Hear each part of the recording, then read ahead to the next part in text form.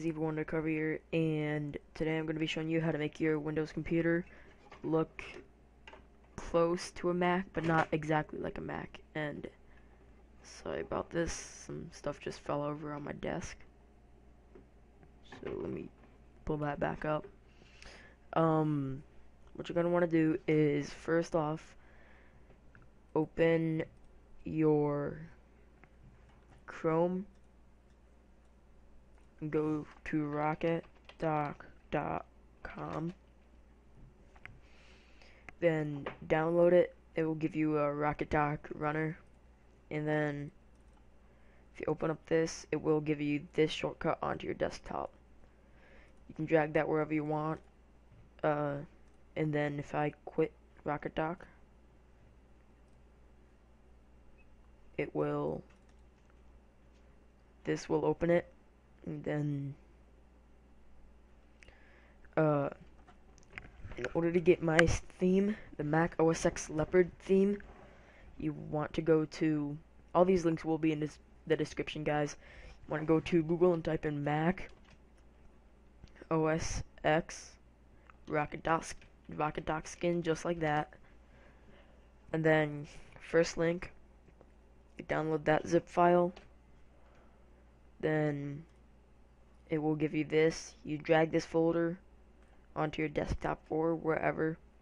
Then you right click, open file location. You want to drag that folder, the Mac OS X Leopard folder, into your Rocket Dock skins folder. You don't have to keep all these, you probably can delete some, but I'm just going to keep them. Then in order to get my font like this, you're going to want to go to dafont.com and search up Batman Forever. It's right here. Uh, you can get it in, or this is the one that you're able to use in your uh, videos. My bad. Without getting copyright or anything, or without donating to the user. It is free. So I know some of them like uh, Techno Hideo, you have to donate in order to use it in your videos. So, yeah, you want to download that. Then it'll give you this. You drag these two files out to your desktop and then just run them. And it will install them both. Then you want to right click uh, someplace open on the dock or anywhere really. Dock settings. Then you will see this. I like to run at startup, store settings in portable INI, which is a single user, user, minimize dock or Windows to the dock, which means that I just minimized my dafont.com to Google Chrome or dafont.com Google Chrome page to my dock. And then open running application instant which opens it instantly. Then running application in indicators and you can see right here where I just drew that red line. That is leading to the uh,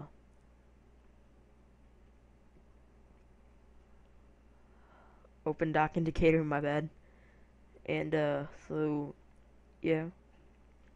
Uh, you have icons. You can change the opacity of them the size of them I keep mine right around 40 because I have a lot of items on mine. Uh, you can choose the zoom effect. I like to keep mine at bubble because flat, it just zooms them all up. Plateau, it's kind of like a uh, st stadium or something.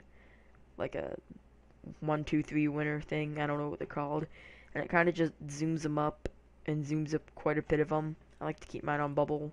You can choose how much they zoom. You can see right there it's 1 pixel up, 28, it's a little bit more like keep mine fully up so that I can see exactly what I'm clicking even though you can but I like to have see it close. Um you have your zoom width. You can uh, change it to 10 and zoom up a lot or keep it down at 2 and only zoom up 2 I keep mine right around 6 because that's a little perfect. You can change your zoom duration. There you see it zooms up a little bit slower and really slow keep mine at 100 milliseconds so that zooms really fast. You can change the position, monitor 1 to monitor 2. That will, I don't want to do that because that'll take it off of you guys. Um, you can change it top, left, right, bottom. It, bottom is where I keep it. The centering you can change. And let me get back that back to zero. You can change the offset. Again, I keep mine on zero. You can go to style. This is where you select that Mac OS X leopard skin and it will give you this one. If you don't want anything behind them, you can just move the opacity down. It'll be just blank. You can select font. This is where you will find that Batman Forever font. Next, I'm going to move up my font a little bit so that it's a little bit bigger. And um, you can change the behavior to pop up on mouse over and everything like that, which pop up on mouse over means that say I have my Chrome open and I need to get something from my dock. I can move my mouse down there and it, my dock pops up. So that's pretty much it. Now one thing I do want to show you, which I had a little problem with, if you're changing your dock settings and you go to monitor, monitor star, you will not be able to see it anymore. So how to fix that is you go to open file location and then you want to look for what was it? Uh data I believe? No that's not it. What is it? My bad. Should have probably looked into this again before. I haven't done this in a while. No um no not help. Well pretty much you will not work if you just uh uninstall it and reinstall it, you have to go into wherever, someplace in here, there should be a settings and I don't know where it went. I just did this the other day too. Um, well, anyway, someplace in there, there should be settings. You just delete that and it will restore your settings to the default. You will have to do everything all over again, but you will be able to see it again. Now, one thing I forgot to say is docklets and separators. I can delete this separator and now you can see everything is in line together. I can add item separator and now I have all my games over here and all my other stuff over here. Then you can add stuff like uh, the dock settings to where if you click that, it automatically pulls up the dock settings. Uh, you can go to add item. You have the rocket dock clock docklet. That is a working clock. As you can see, Monday, October 14th, 2013 is the day I'm recording this, and you can see the time right there. Now this is not like exactly like a Mac. I don't have the right background, and my taskbar is over here and I don't really want to install a Mac OS X Leopard theme because I heard those can ruin your computer. So, anyways, uh, continue on. Can add item recycle bin, and that will add just your recycle bin, obviously. So I'm actually gonna leave that on there. Um, and yeah, so that is pretty much it. I hope you guys enjoyed. Remember to rate, comment, and subscribe, and uh, I'll see you guys later. Okay, so one thing I forgot to add is how to add stuff like Garry's Mod, which if you open up Garry's Mod, uh, properties, it, uh, wait, no, no, that's not right. Um, if you go to your computer,